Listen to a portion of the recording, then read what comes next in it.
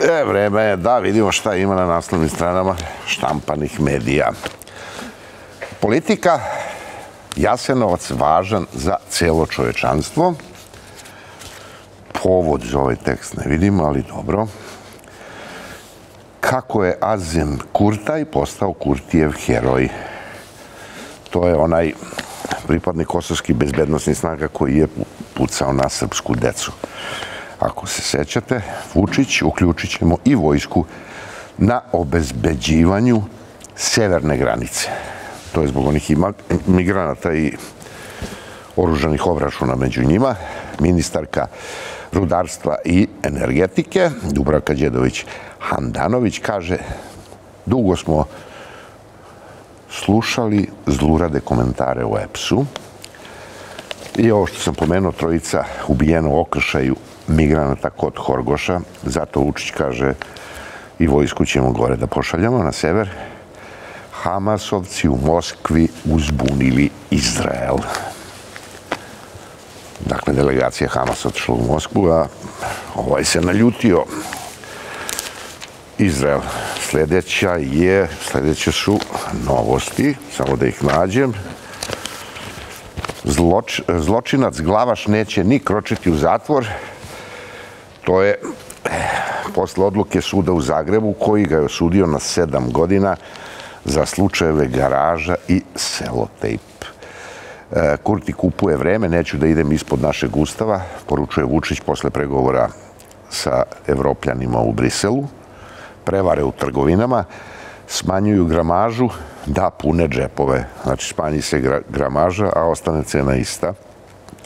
Fijasko klubskog futbola, gledamo u leđa čak i faranima. To su Farska ostrava. Saobraćajke odnule 20,5 milijardi evra. Zimovanje papreno, skijanje skuplje za 25%. Sljedeći bi trebao da bude Blitz. Putin formira osovinu terora. To je povodom e, posete zvaničnika Hamasa i Irana Moskvi. Aleksandar Vučić kaže Srbija ne sme da stane. Dobrivu od nule stvorio Malinjak, Minići gaje 11 krava, Minići, Minići, tako se prezivaju ljudi, gaje 11 krava i dve junice. I Amerika u strahu, masovni ubica izmene i dalje na slobodi, to je stara vest. On je pronađen mrtav, ali ne kaže se šta mu se desilo. Da li se... Idemo na kurir. Udarna vest kurira je životni put Alekseja Avramovića od Trnja do Zvezda, ali stvarno kako je totalni outsider postao košarkaški heroj. Kurir ekskluzivno sastaje, pale Maskve, Đilans na, saz, na sastanku saradnicima rekao najbolji i najlakši partner nam je Ivica Dačić. A što znamo svima je on najbolji i najlakši partner danas desničara, od juče anarholevičar. Gde su pare? Eto ga Ratko. Ratko Ristić se preko noći odrekao zelenih da bi preleteo kod Boška u dveri da ne idemo dalje. Anica Dobra za kurir. Deca zla. Prva srpska, srp, srpska serija na HBO. Posle kurira idemo na danas udarna vest, reditelj Kokan Mladenović o novim predstavama svojim. Bila jednom jedna zemlja i Danilo Kiš izvodi iz knjige Rođenik. Živimo u zatvoru kojim upravljaju kriminalci, kaže Kokan Mladenović. E, vlada nije obeležila godišnicu, a nema ni razloga. E, godišnica valjda vlade, formiranja vlade, da. E, na ulicama Beograda neispravno više od 40% vozila GSP.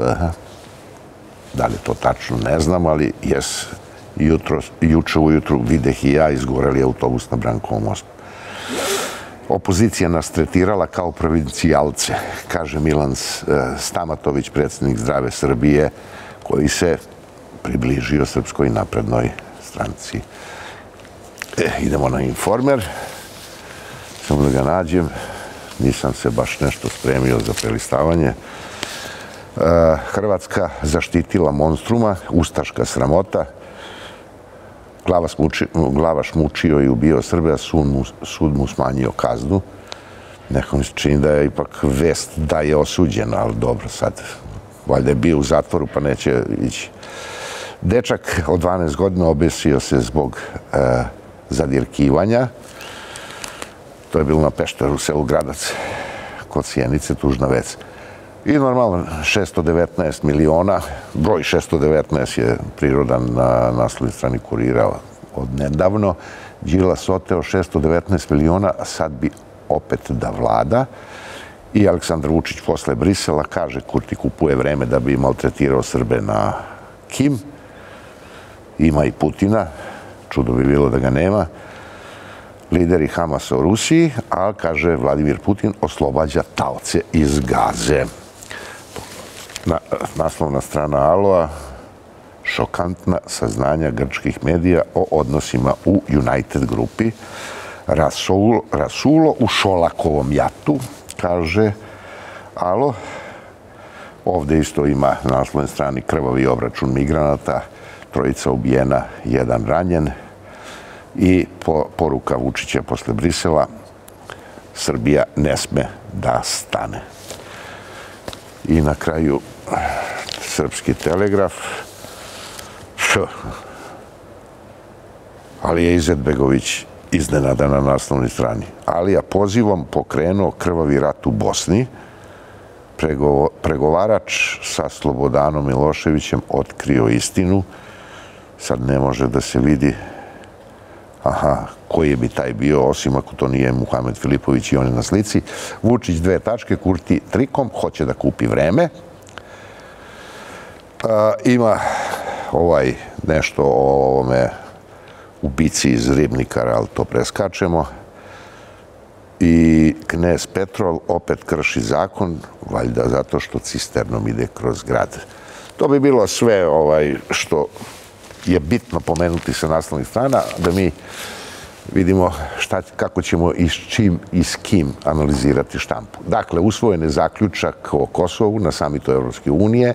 Lideri pozivaju na sprovođenje sporazuma onog njihovog iz februara. Makron poručuje da Beograd i Priština moraju jasno da se angažuju da primene taj sporazum, ambasador Sjedinjenih država u Beogradu, Christopher Hill, da dijalog mora da ima za cilj političko rješenje. U Briselu, uh, o tome šta se desilo u Briselu, onome šta se dešava na Bliskom istoku, onome šta se dešava u Ukrajini i još po nečem, recimo, onome što se dešava u Crnoj Gori. O svim tim aktuelnim temama u analizi štampe razgovaram sa Vladimirom Radomirovićem sa portala Pištaljka i Nenadom Konstantinovićem, danas advokatom, a nekada i političarem. Dobro mi došli.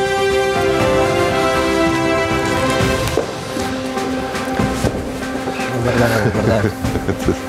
Evo net. Dobro jutro. Ćao.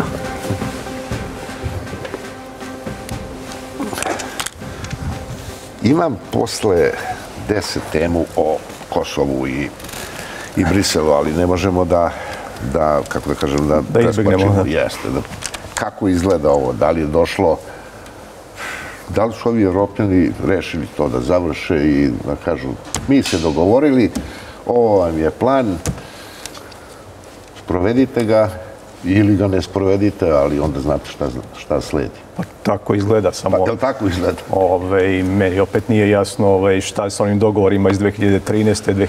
2015. Sad ove, su oni izgleda došli s nekim novim planom za zajednicu srpskih opština. I ovaj, sad po ovome što, ovaj, što smo videli posle ovaj, tih pregovora, izgleda kao da je Srbija prihvatila taj plana da Priština nije. Iako e, posle dolaze neke... neke... Nije Borelj rekao još u februaru, e, kad su predstavili taj osnovni sporazum, tako se zove, rekao obe strane su prihvatili. A, pa obe strane, ali posle smo imali ovaj, odbijanje, mislim sve vreme imamo odbijanje Prištine da napravi zajednicu srpskih opština. E sad ono što mene zbunjuje, ono što je Borelj rekao posle ovaj, pregovora, i to zvanično izjavi ovaj, da zajednica srpskih opština treba se formira na severu Kosova. Ovaj, ne znam gdje su se izgubile ove druge opštine sa srpskom većinom. Da. Ovaj, I čudi me da nije bilo više ovaj, izveštavanja o tome da li je to on pogrešio slučajno ili je zaista reč o nekom novom planu koji obuhvata samo ove četiri opštine na severu. Dobro si to primetio. Ali, da, da, ali već je verovatnoća da baš on ne zna koliko ima tih opština sa, Moguće, da. sa srpskom većinom. A tebi kako izgleda onako sada kad, kad se baviš drugom profesijom, a politikom samo kad gledaš vesti, jako ih gledaš? Pa ne, prvo to sad kao da li je Evropska unija sada rešila. Ja nekako imam utisak da je Evropska unija i ceo sve da su nama dali tu mogućnost za to sami rešimo tamo od 99. godine. Dakle, od Kumanovskog sporazuma je prošlo 23-24 godine. I sad, pošto mi to nismo uspeli da razrešimo za 23-24, kada kažem mi, Beograd i Priština, Srbi i Albanci, eh, na kraju su oni rekli, ok, evo, to je to to je taj model. Da li su Evo, mi smo se među sobom dogovorili. Jeste, dogovorili su se, napravili su statut, dali su neki statut, mi sad ne znamo šta piše, kad kaže mi, to je građani ne znaju šta piše u tom statutu. Taj statut je pokazala petorka, statut zajednice srpskih opštine pokazala petorka predsjedniku Srbije vidim iz izjava da nije tu bilo nekog velikog protivljenja, da je to kao osnov da će stvarno zajednica srpskih opština da se desi. Ja ne sumnjam, pričali smo i u raznim emisijama i ranije, ja ne sumnjam da će zajednica srpskih opština da se stvori. Ne vidim način da može da se ne stvori. Ušte ne vidim Kurti to može da odbija, da nešto prolongira, ali kako vam kažem, i mi smo svašto odbijali i prolongirali i na kraju od toga nema ništa. Nema ništa zato što je neki svet koji je ipak i važniji i moćniji, od koga mi zavisimo, rekao ljudi morate da završite taj konflikt. Kad taj konflikt se završava tako što će se formirati zajednica srpskih opština, ona će imati ovlašćenja takva kakva pišu u tom statutu. Ja pretpostavljam da su to ovlašćenja koje su u skladu sa Ustavom Kosova koji postoji takav kakav postoji i mislim da će to obe strane nesporno i prihvatiti. Ja mislim da će se ići u implementaciju onako kako piše na kraju krajeva i u saopštenju koje je dato posle ovog sastanka u Briselu, gde oni nama kažu nemojte da propustite još je, kao da pišu ovo je poslednja prilika, nemojte da propustite i ovu poslednju priliku da uđete u neki red nekih civilizovanih država. A da li će po tebi Kosovo biti tema na, na sljedećim izborima? Odnosno, da li ko može da nametne? Obično najjači može da nametne temu, a da li SNS-u misliš odgovara ili ne odgovara da Kosovo bude dominantna tema? Pa SNS ima mogućnost da dakle, kaže da se predsjednik Vučić, a zatim i cijela stranka, ovaj, iako on više nije predsjednik stranke, bori za interese Srbije na Kosovo i Metohiji i tu bi mogla da ima prednost u odnosu na opoziciju. I vidimo da i u Skupštini se, kad god se pomene Kosovo, predstavnici Srpske napredne stranke napadaju opoziciju, čak i ljude koji su e, danas u opoziciji, nekad su možda bili članovi neke stranke koje je bila na vlasti, ali nisu učestvovali u stvaranju politike e, te stranke e, da su odgovorni za proglašenje nezavisnosti, za martovski pogrom i tako dalje, e, što mislim da nije ovaj najbolje rešenje, ali u svakom slučaju koristit će Srpska napredna stranka ovaj, sve što može u kampanji pa i pitanje Kosova. Pitaću i Duška Janjića kasnije i Drecu na ovo pitanje, ali moram i vas da pitam. Jel primećujete da Banjska i sve ono što se desilo nekako je sklonjeno sa e, radara, ne govori kod nas, nego i e, kod Evropljana. Koliko god da Kurti viče, a Banjska, Banjska, Banjska, oni kažu, pusti ti Banjsku, gledaj ti zajednicu srpskih opština. Izbore. Pa prosto, to, to je neverovatno. Ali je tačno. Jel pa tako? Neverovatno, ali tačno. Znači, to je bio jedan značajan događaj, strašan događaj da smo se mi svi iznenadili i dan danas ne znamo šta je tačno bila akcija, koji su razlozi, ko je organizao, kako je organizao. Ja misliš da ćemo saznati? Mislim da nećemo saznati, jer nestvarno je da posle pet dana to više nije tema. Znači, bilo ona dva, tri dana, Radojičić... Bilo su i sankcija. Su, i... I ništa više. I ovi su rekli, sve mora da se utvrdi ta dotačina i tako dalje. E sad... Kurti nešto malo viče, ali bilo je jednom trenutku vez da postoji neko četvrto telo da je pronađeno. Troje ljudi je sahranjeno Srba, a je bilo četvrto telo. A nikad nismo saznali Pa Ko je to očigledno bila netačna. Pa da, dalje netačna informacija, ali ne kaže ni jedna sa ni Priština ne govori ništa, ni e. mi ne govorimo ništa. I šta je sa ranjenima, gde su oni? Gde su ranjeni, koliko ranjeni, gde su oni iz one bolnice u Novom pazaru, bilo dvoje, pa bilo šestoro. Ništa to nema, ne znamo imena, ne znamo ko su ljudi i Evropa to ne traži. Evropa je rekla, ok, daj da završimo priču. Moj utisak je da je na taj način da ta Banjska imala za rezultat, ne znam koje su bile namere, koja je bila akcija, šta se desilo, ali da je imala za rezultat da ti neki ljudi, organizovani od strane Radojičića, za koji se tvrdi da nije bilo 30 nego 150, sad neko kaže 156, nemam sad tu pouzdanu informaciju, da su oni na kraju svi otišli u Srbiju, da se oni na Kosovu svakako ne nalazi i da ne mogu da se vrate. Propušteni u Srbiju. Ispraćeni, Propušteni u Srbiju od strane Kvora i na kraju krajeva i Rosa. U centralnu Srbiju. Jeste, u centralnu Srbiju i oni više dole ne mogu da se vrate. To mi je utisak. Očigledno da to e, zvanično nije nikakav problem više na Srbiji, kao da se veruje, e, ovako, postoje dve mogućnosti kad razmišljamo. Ili oni znaju šta se desilo. Ili ovako razmišljaju. Ta akcija je trebala da odvrati Srbiju od nastavka dijaloga sa Evropskom unijom i evropskog puta, pa ako je htela i ako je za cilj imalo to, onda mi nećemo da pomažemo tom cilju koji očigledno nije ovaj ostvaren. Šta možda bude jedno to dvoje? A moguće da ima tu i odgovornosti ovih nekih zapadnih vlada ili kvora, Mislim, pre svega kvora i jedna nezavisna istraga bi svakako morala da da odgovor na te pitanje. S tim što jedinu istragu u ovom predmetu može da vodi UNMIK. A to neće niko da dozvoli. Ni taj zapad, ni, ni pa Priština.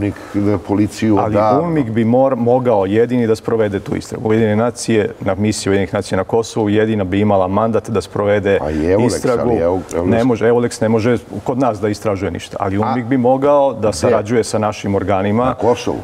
U centralnoj Srbiji. Dakle, da se poštoje li ovaj, postoji neka istraga treba da se vodi. Nadležno za ali mi smo članice Ujedinih nacija i mogli bi naši organi da sarađuju sa UNMIKom u takvoj istrazi. Dakle, ja kažem, ali nikome nije u interesu da se jedna takva istraga sprovede do kraja. Jer mislim da bi dovela do odgovornosti, ovo što smo već rekli, nekih zapadnih vlada. Mi nismo baš, ja bar nisam čuo šta su drugi pričali e, u Savetu bezbednosti o Banjskoj. Verovatno je predstavnik Kosova gospođa Osmani pričala, ali samo jednu rečenicu je premijerka rekla. O tome šta se desilo, mi ćemo obavestiti naše međunarodne partnere. Iz te rečenice ja razumem da mi ne moramo da znamo mi u Srbiji šta, će da se, šta se to desilo, ali partneri će ili da znati ili već znaju. Pa, ili su već obavešteni. I zato su oni onako mirni i čute. Mi ne znamo ko je organizovao, ne znamo pa šta je, je čovjek, bio ja, cilj. Ja, on. Ali šta je bio još jedan utisak? Da se niko kod toga, kažemo post festum, ništa se ne dešava, sve se brzo smirilo. Ali ništa se nije desilo ni na dan kada je ta grupa ljudi bila u Banjskoj. 12 sati se nešto puškaralo. Za 12 sati puškaranja celo Kosovo to zna, odnosno svi Srbi na Kosovo to znaju. Nema šanse da se to ne pročuje. Nema sirena u Mitrovi. Niko od građana ne podržava tu akciju, kaže, evo vidi, tamo pucaju, pucaju na naše hapse, pa da izađu na neke demonstracije u Kosovskoj Mitrovici. Nema demonstracije u Kosovskoj Mitrovici, nema demonstracije u Beogradu. Nema nikoga. Nema, ne znam, kod crkve Svetog Marka Nikovića, ni bilo koga drugog. Či ne postoji nikakva reakcija na taj događaj, ni stanovništva u centralnoj Srbiji, ni stanovništva na Kosovu i zato mi ne čudi da sve to može i da nestane posle tri dana i što se tiče međunarodne javnosti, što se tiče domaće javnosti, a da je finale, osim što tih 150 ljudi više nije dole, Srpska lista kaže idemo na izbore. To idemo na izbore, znači valjda vraćamo se i u institucije. Inače je bilo strašno glupo što su izašli iz institucije i što su ti ljudi izašli iz policije da bi onda odjedan put... Či znači, neki ljudi koji su bili u policiji Kosova, Srbi, su stvari postali sad paravojna formacija koju nešto hvataju u Banjskoj, što je potpuno neshvatljivo. Mislim, nije dobro za našu stranu. A, vidjet ćemo šta će biti u dosta u Kosovu. Ajde, ajmo da skoknemo malo do Crne Gore. Jel, e, za tebe iznenađujuće ovaj, ova kombinacija koja će iznedriti ili izglasati 44. vladu Crne Gore? Dakle, Spajić i i ovaj, kako se za budućnost Crne Gore. Da. I Mandić kao deklarisani Srbin postao predsjednik Skupštine. Pa s obzirom na izjave koje su dolazile iz, eh, pre svega, zapadnih ambasada da neće ovaj, vladu koja nije izličito proevropska i opredeljena za članstvo Crne Gore u Evropskoj uniji. Eh, ovo jeste izgleda neki kompromis koji je sigurno ovaj, eh, dobio neki, neku vrstu miga iz eh, pre svega američke ambasade. Eh, ali vidimo da su eh, manjinske zajednice, odnosno manjinske stranke u Crnoj Gori dobili, dobile ovaj, veoma bitne položaje u vladi i sad je to dakle, uvod u pitanje popisa. Šta će biti na tom popisu, koliko će Srba biti popisano i kada će biti na kraju odrožan taj popis? Pa dobro, ali zvanično je rečeno, odlaž, nova vlada koja još nije vlada, kaže da će odložiti popis. Što je prilično, kako da kažem, absurdno. Li tako? A jeste. Mislim, ako ima ovaj zakonska obaveza da se popis provede u određenom periodu, ne bi trebalo da se menja sem ako nema baš nekih nepredviđenih okolnosti kao što je kod nas bila ovaj epidemija COVID-a. ali, eto, mislim, očigledno ima tu raznih interesa koji ovaj, utiču na, na odluku o popisu, a možda se raspoloženje u Crnoj Gori i menja tako da, da će na tom popisu biti više Srba. A koliko je to važno da bude više Srba? Prvo je stvarno je zanimljivo da neko ko nije formirao vladu to odloži.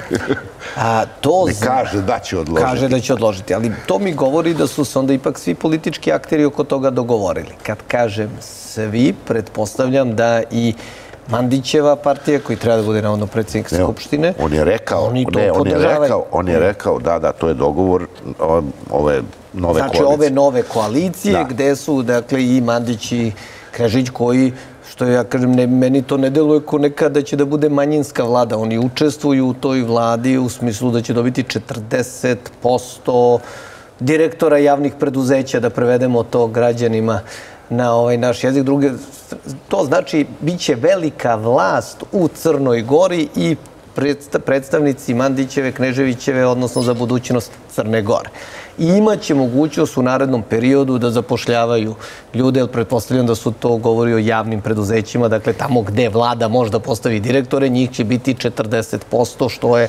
značajno za infrastrukturu tih partija i za uticaju u društvu. Je li važniji direktor javnog preduzeća ili ministar? Važniji direktor, uvek je bio važniji direktor nego ministar. Ministar nešto predlaže, neke odluke koje ipak mora da izglasa neka skupština, tako to što on predlaže možda donese sam. Pa, a ili je neki akt koji glasa vlada, pa popet ipak svi u vladi treba da se slože, znači mora bude većina, a direktor kao inokosni organ donosi vrlo važne odluke i zapošljava koga on misli da treba i raspoređuje na određena mesta koga on misli da treba. Tako da mislim da će oni biti, imaće veliku vlast. Iako su dobili na izborima 14% glasova, što nije sad, ne znam, veliki broj, daleko manje nego ovi Evropa sad i tako dalje. Ali mislim da je to na kraju dobar dogovor da u Crnoj Gori ostane proevropska vlada, znači neka vlada koja će nastaviti taj evropski put, s obzirom da je Crna Gora i članica NATO-a i da i mi možemo da kažemo 30% Srba, bakar to koje je bilo po prošlom popisu, je u NATO paktu i to mislim da nije loše za region. Kada bivši političar jasno i glasno kaže svakako da je direktor javnog preduzeća važniji nego ministar. Šta te bi kao čoveku koji, koji e, baveći se, ajde da kažem, istraživačkih novinarstvom, pa to kaže. Istina je, to je istina. istina. Samo što ima nekih ministara koji, ovaj, zahvaljujući svojoj poziciji u nekim vladićim strankama, mogu da ovaj, utiču i na, na direktore i ovaj, i na prosto zapošljavanje u javnim preduzećima i mi imamo, nažalost, tu situaciju da se kod nas stranke pitaju za mnogo šta, što ne bi trebalo da, da, da odlučuju i to je tako, negdje 45. godine stranka se pita za sve, a institucije malo manje. da, da. Do, od 45. do 90. partija. A onda partije a onda partije i stranke. A da, ali zašto? Zato što je šta se desilo 45. Je tako došao komunizam i postalo sve državno vlasništvo. Pa onda država, je tako, odlučuje. Tako imamo, zato su ti direktori i dan danas, mi nikad nismo privatizaciju doterali do kraja. Znači, veliki privreda, ko ne radi s državom, taj u problemu. Jer država odlučuje o svemu i dalje u privredi ili o većini stvari. Hoće da kažeš da na neki način komunizam još živi? Apsolutno. Živi si. Apsolutno. Apsolutno živi. Ali vidite, oni, na primjer, evo, za budućnost Crne Sad hoće komunizam i dražu da uzme. Ovi iz SPS-a ovi iz SPS-a su sad napravili spomenik Draži Mihajloviću, ne znam šta se dešava, ali dobro. Onda su i oni razumeli da je Sutra komunizam tome, nije ali, baš dobro ali, rešenje. Kad pričamo o ove, o, uslovno rečeno, o korupciji, o partijskom zapošljavanju, a ovo jeste izborna, ne, nezavršena privatizacija i tako dalje, ali nemam utisak da se baš, ovi koji se bave politiku, sad pričamo o Crnoj Gori, a slično i kod nas, oni se hvale. Kaže, mi smo, jeste, nećemo imati ministre, ali smo dobili 40 e, odsto po dubini. Baš tu formulaciju upotrebljavaju i ne, ne smatraju da je to nešto, kaže, da je nešto što, čime se ne treba hvaliti. Prećutiš, dobro, dobio si, ali ne izlaziš u javnost. Zašto kažu? Je to zbog pristalica? Možete da računate da ćemo moći da... Da zapošljavamo i da nećete morati da ovaj, da lažete da ste crnogorci, moćete da kažete da ste Srbi jasno i glasno. Eto, na primjer, to je ta poruka. Dobro. Idemo ovo, e, malo e, na Bliski istok. Moram da istresem nos, izvinjavam se svima. Idemo na Bliski istok. Jel pratite ovo? Hoće ući, neće ući, koliko će biti mrtvih i tako dalje? Pa mislim, kako vam kažem, u svakom smislu je katastrofa. U svakom smislu je katastrofa. Katastrofa su oni snimci koji smo svi gledali od 7. oktobra, mislim, uopšte ne, ne, neshvatljivo je. 2023. godina sa tako divljaštvo upadaju. Neki ljudi odvode žene, decu i tako dalje. I to što je Hamas uradio, ne znam, meni koji sam generalno protiv ratova ne može nikako to da bude blisko i da shvatim tu ideju što su oni hteli da postignu. A, ova reakcija mislim da smo mogli da očekujemo poslovnih snimaka da će da bude katastrofalna reakcija i da će da bude brutalna reakcija i sad se to naravno to bi nazvali prekomerenu upotrebu sile oni sad idu da utvrde i da pronađu to poslednjeg člana Hamasa a do poslednjeg člana Hamasa će među vremenu poruše sve i da izgine sila neki narod.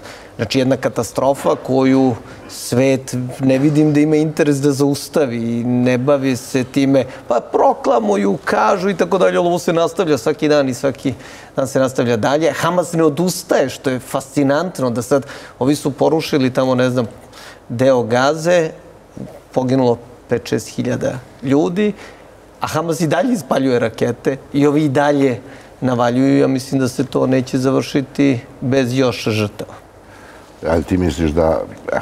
Mi stičem utisak da je nekako Amerika zadržala, ajde da kažem, na Tanjahu, a da krene odma u, u kopnenu. kopnenu. Pa, da, ali Amerika je izgleda čekala da pošalje dodatne snage u, u taj region da bi mogla da spreči napad na, na Izrael. Tako da Biden, Biden i Netanyahu nisu u dobrim odnosima ali nije Amerika ima... sa Obamom na Tanjahu u dobrim Ne, ne, ali Amerika ima strateški odnos sa Izraelom i radit će sve da zaštiti Izrael od bilo kog napada koji će sigurno doći ako uradi Izrael ovo što govori da će uraditi, ovaj, da će ući u kopneno u gazu i to će dovesti do katastrofe i sigurno će biti nekih reakcija. Ako ne država samih na Bliskom istoku, onda nekih ovaj, terorističkih organizacija. A je moguće da, da se Iran, ajde da kažem, upeca i da krene na Izrael? Ja pretpostavljam da američke snage koje su tamo, ovi nosači aviona, oni nisu da pomognu Izraelu, nego u principu da reaguju na eventualno e, iransku kakvu god akciju. E sad vidite, kad je ovaj, prošle godine počela ruska invazija na Ukrajinu, to je izgledalo kao rat koji može da dovede do nuklearnog ovaj, sukoba i svi smo mislili da je počeo treći svetski rat. Sad taj sukob u Ukrajini izgleda kao dečija igra u odnosu na ovo što može da se desi na Bliskom istoku. Pa dobro, objektivno nije. Mnogo su veće žrtve kad se sve sabere. Pa pazite, pogledajte, uh, civilne žrtve u Ukrajini nisu, u, s obzirom na, na, na ceo kontekst, civilne žrtve u Ukrajini su mnogo manje nego ove koje sada imamo u pojasu U odnosu na broj stanovnika, pretpostavljam, da, da, da. procentualno da. govoriš. Ove, Zato što ovaj- vojske se tuku. Voj, vojske se tuku. Ovde, ovde imamo već veliko stradanje civila koje će biti mnogo veće ako Izrael uradi ovo što najavljuje da će uraditi. A onda to sve može da dovede do zaista ogromnog sukoba. A da li ti palo na pamet da, da je ovde na delu politika navlačenja Irana? Da se umeša u sukob da bi mu Amerika i Izrael e, nuklearni program vratili u kameno doba?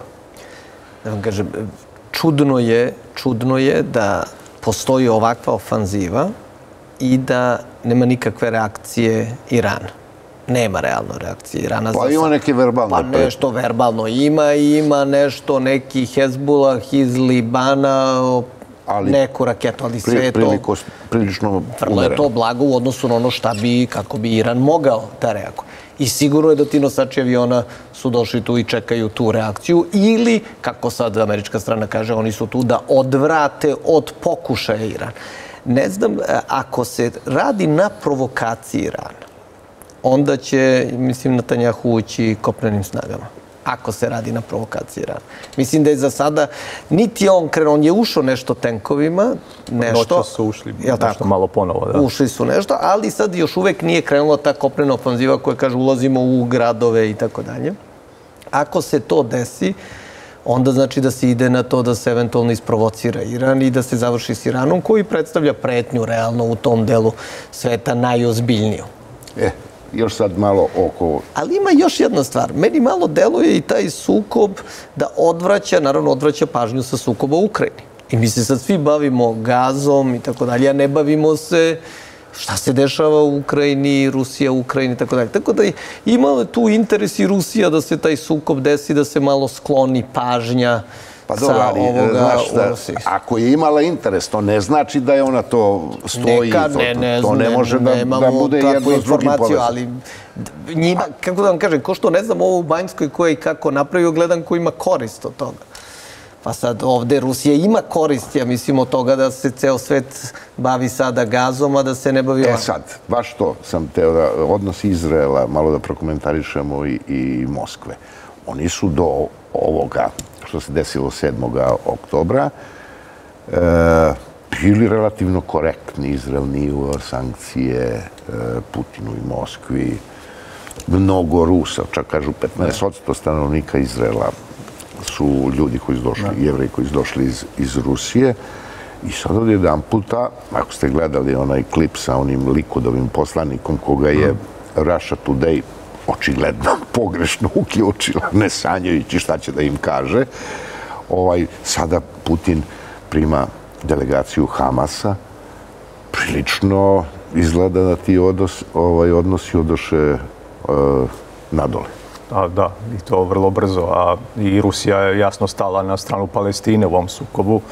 Ovaj, I s druge strane imate ovaj, e, ruski uticaj, ruske snage u Siriji. Dakle, sve to ovaj, komplikuje ovaj, situaciju ovaj, e, na Bliskom istoku, a možda je, u krajnjoj možda je, ajde sad ako govorimo o nekim ovaj, e, teorijama šta bi tu moglo da se desi, da li je Iran meta, možda, možda je zapravo Sirija meta, možda je, konačno Amerikanci žele da ovaj, svrgnu Asada i da ovaj uspostave kompletno ovaj vlast koja bi bila uh, lojalna Americi u Siriji. Aha.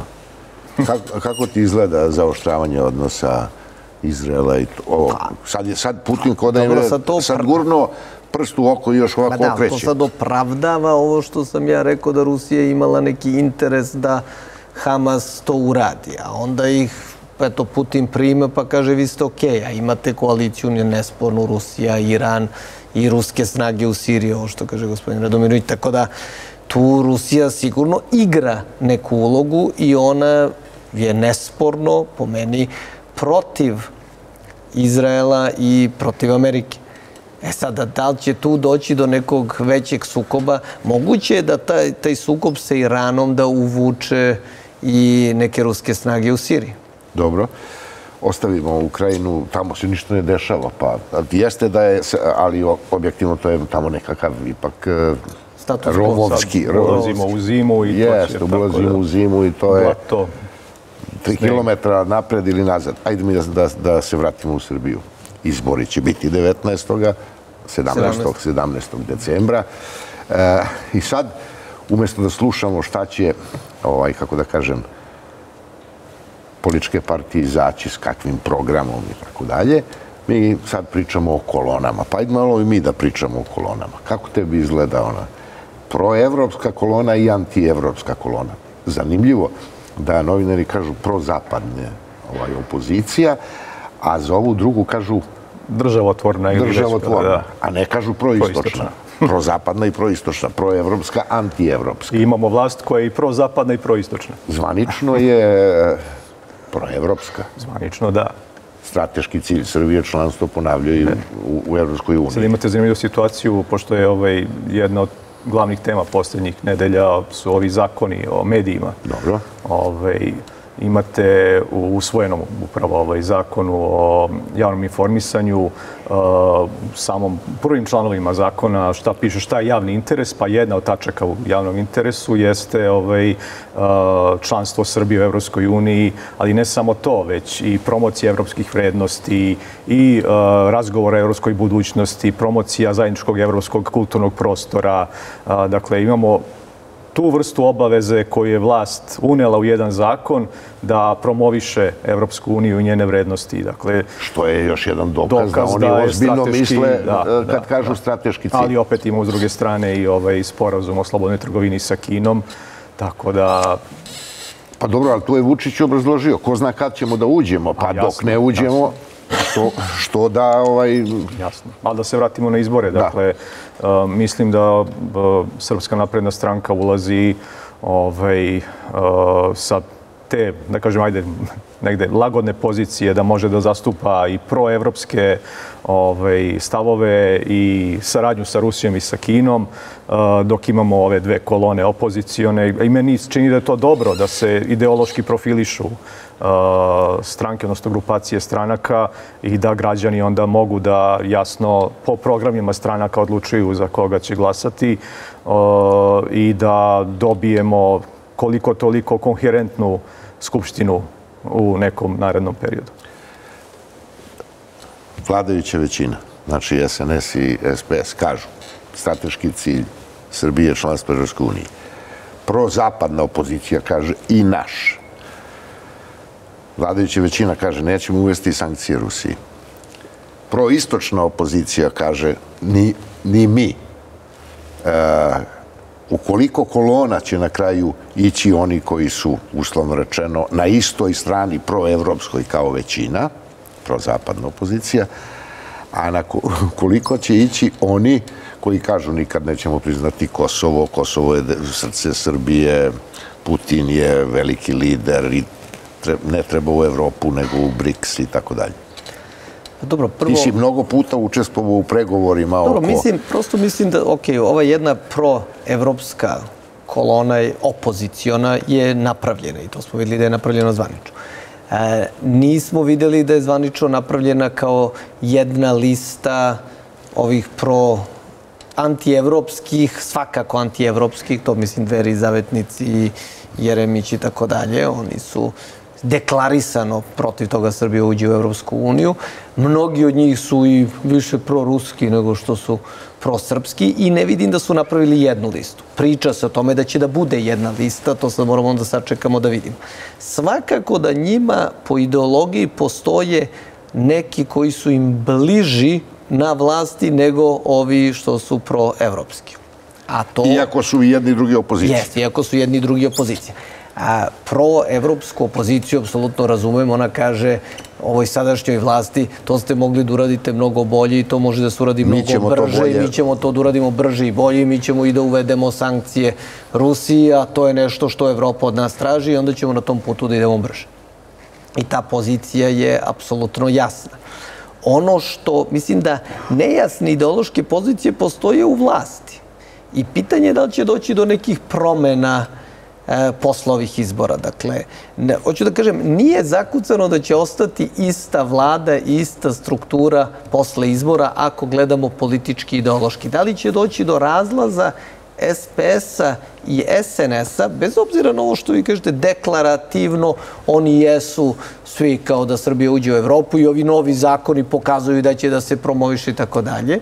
A, pitanje je da li, kojim intenzitetom su za to jedni i drugi, Ili- mislim SPS i SNS, Ili iskrenošću. Is, Kako? I da, koja je iskrenost, to da. to da ne pričamo, tako da može da dođe i do promena posle izbora, ja mislim, u republičkoj vlasti. Naravno da najveće šanse da ostane na poziciji vlasti ima SNS kao neko ko ima najviše glasova za sada, ali ko će biti partneri dalje, to ćemo vidjeti. Da, A kako tebi izgleda, a, to negde sam video e, da je Đilas rekao svojim saradnicima u nekom tabloidu e, najbolji i najlakši partner nam je Ivica Dačić. Vidiš? A tu je... Jel, da. da li- Imao je da- kurir, dakle, kurir je imao pre dva dana, čini mi se, jedan nepotpisan komentar kao lični stav. Da? Čudno da lični stav pa nepotpisan. Ove, gde je jedan ovako prilično brutalan napad na SPS bio.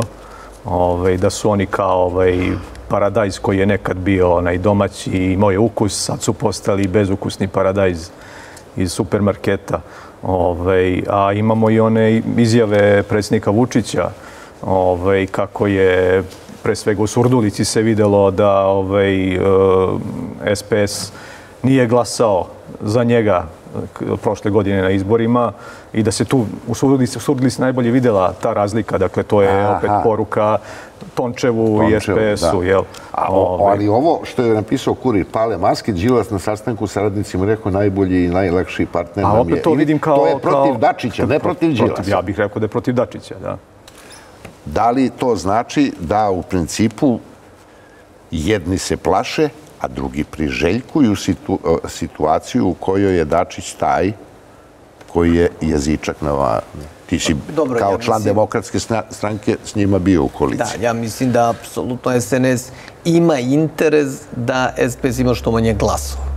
Ali dobro, ništa to sad nije nenormalno ovaj, da to očekuju. I SNS nije uspeo time što je prigrlio SPS u ovih deset godina, nije uspeo da mu smanji popularnost. To vidimo na prošlim izborima. Na prošlim izborima SPS opet oko 10%, on vatrirao je Dačić u izbornoj kampanji Rusija, Rusija, Rusija i SNS je to zamerio. Jel tako, Dočiću kaže, vi ste to koristili u ovoj teškoj situaciji, mi kao proevropski, a vi ovo što narod više voli. Pričate i bio nekako nezadovoljan. Vidjet ćemo kako će sada da bude u Kampa- kampanji i da li će SNS uspeti da se smanji uticaj SPS. Ako se smanji uticaj SPS-a, onda će SNS, pretpostavljam, tražiti neke nove partnere u opoziciji, a pitanje je da li može da nađe ili ne može da nađe nove partnere u opoziciji za ovu postizbornu dogovaranje. I sad tu imamo ono što ste vi pomenuli, ovaj podizanje spomenika Draži Mihajloviću i neka vrsta možda pokušaja SPS-a. Nije to spomenik, to je skulptura. Da... Aj, skup. Dobro, dobro. ali to znači, prošli put smo dobro prošli kad smo ovaj išli na Putina. Da. A sada idemo na Čičadražu. Pa kome možda, može? sad ne znam, vidjet Pa, ćemo. pa ajde da razmislimo kome može sa, sa Dražom, kome može SPS da uzme glasove. Pa može raznima. Ima tu kako može Vučiću, može Milošu Jovanoviću, može Vuku Jeremiću, ima tu raznih kandidata, Boško Obradoviću, Milici, Đurđević. Jel to tebi izgleda realno? Pa ne, sve je inače poremećeno. Znači, prosto je neverovatno. Kako da vam kažem, sad su oni koji su bili Oni koji su rušili spomenik e, SPO-a na Ravnoj gori sad...